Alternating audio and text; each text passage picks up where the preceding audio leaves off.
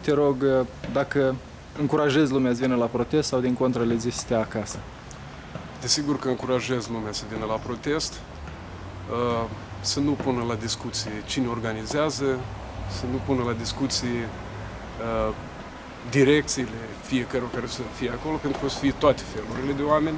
Poți să te trezești și cu anumite părți politice care să nu convină, nici da, nici nimeni altcineva nu trebuie să dicteze de pe scenă ce mesaje trebuie să spunem acolo, pentru că avem aceleași probleme și eu, în calitatea mea de, unionist, de unionist, am să, tre- am să strig unire, am să cer retragerea interdisului George Simion, am să cer pe lângă unire o justiție normală, dar pentru asta trebuie să punem uh, la închisoare pe însă judecătorii, pentru că asta au, uh, uh, în urma lor au, sunt atâtea probleme. Suntem o țară cu statut de criminali, dar doar pe hârtie. Dacă să vorbim cu majoritatea oamenilor, li s-au fabricat dosare și nu uităm și de guvernare, care l-am citit astăzi, Strileț zicea că Uh, sprijine protestul, să-l sprijine de la penitenciar. El s-a ocupat cu delapidări de, de fonduri, uh, are legătură cu concesiunea aeroportului pe unde tranzitează teroriști în Transnistria și au circulație liberă tot felul de persoane dubioase cu capital.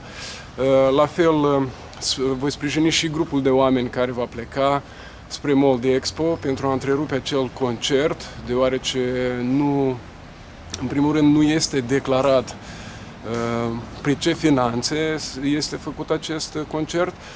Uh, în presă se vehiculează că Uniteu are probleme cu, cu finanțele, dar cheamă uh, cei mai influenți artiști din Rusia și sunt plătiți cu sute de mii care pleacă din țară. Deci este un offshore. Dar cum explici faptul că, iată, lumea s-a agită înainte de protest? De obicei, după protest, lumea mai cârâie, mai mâră, de iată, acum, înainte să aibă loc protestul, deja foarte mulți contestă, foarte mulți spun nu ieșiți în stradă și mai ales amenință că vor fi sângeroase. Ce crezi că e în spatele amenințărilor? Uh, eu îndemn lumea să se comporte pașnic, uh, indiferent de orice uh, provocare, deoarece avem deja destule probleme, nu trebuie să ne mai creăm prin uh, sânge și iar mesajele care vin uh, uh, că vor fi proteste sângeroase și uh, tragicul ăsta care se ficulează nu este decât o intimidare pentru a speria lumea să nu, să nu apară la protest. La protest poți să vii uh, tu în carne și oase și să-ți prezinți singur programul, fără să te sperii guvernarea că, uite, domnule, o să aplicăm... Am mai făcut-o și Zinaida Greceanului cândva.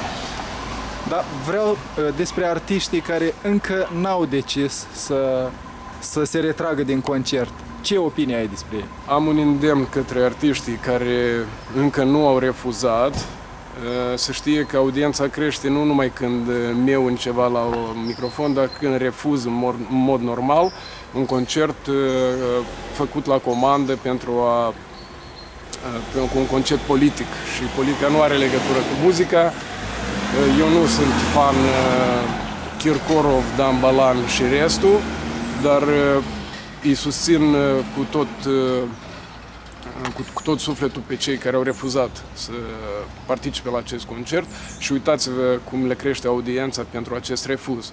Este, cred că, prima dată când un artist nu cântă, dar îi crește audiența. Mulțumesc!